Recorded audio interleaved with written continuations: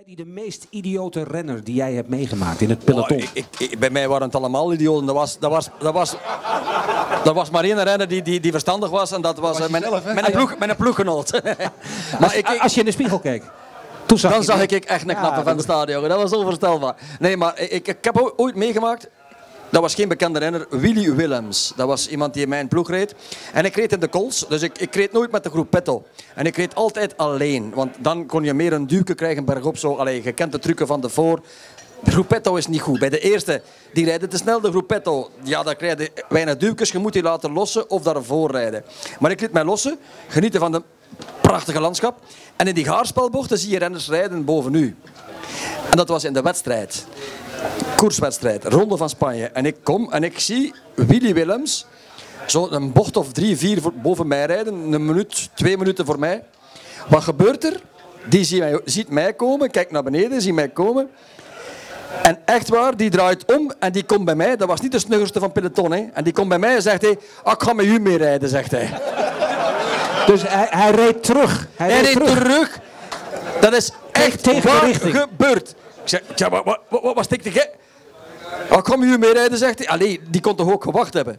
Dat, is, dat, dat is een rare vogel tot en met. Phil Anderson, dat was geen simpele die demareerde. En ik moest met mijn grote plaat en mijn 17, want ik had, veel, allee, ik had niet veel souplesse, moest ik mee zijn met Anderson. En Adrie van der Poel was eraf. En dan wint je de Ronde van Vlaanderen natuurlijk. Ja, Ronde van Vlaanderen als Vlaming.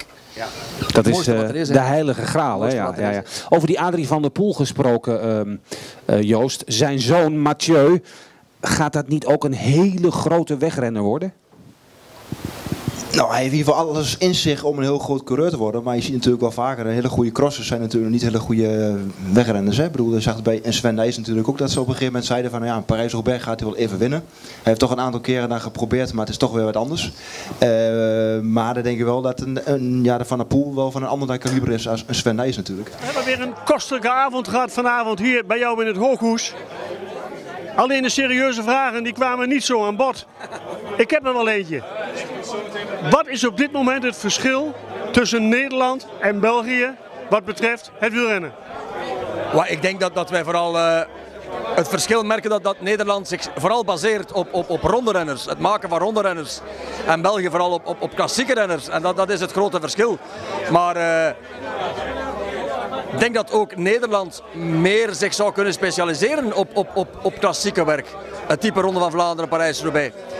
Maar het is een andere cultuur en dat is duidelijk. Met Zoetemelk, met Jan Jansen. Alhoewel, wij hebben ook onze rondewinnaars gehad. Met Merks van Imp en zo, en, en zo meer. Maar de Nederlanders die blijken meer het gebeuren te doen van het te volgen van, van, van rondrenners. En dat is duidelijk.